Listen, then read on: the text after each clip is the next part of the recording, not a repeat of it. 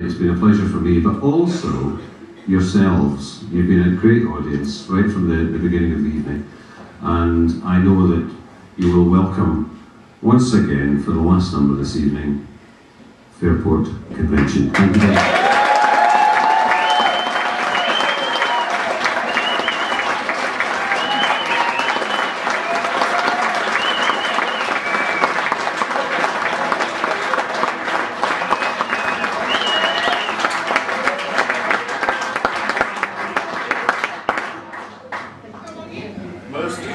Mr. Westwood.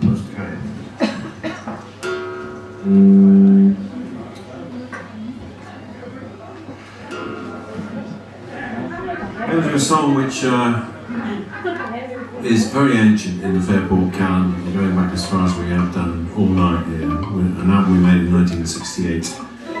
Um, tucked away on side two of that album was a song Richard Thompson had just written, one of his earliest solo compositions. Nobody had any idea it would have the legs that it is um, developed.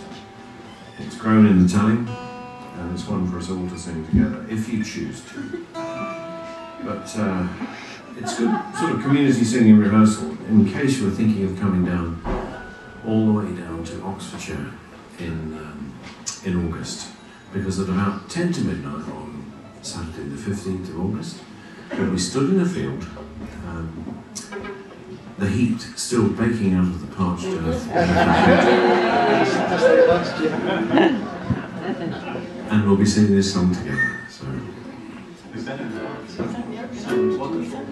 And, uh, you know, as many as would like to join us for the chorus, uh, please welcome back anybody who's ready to come on. So,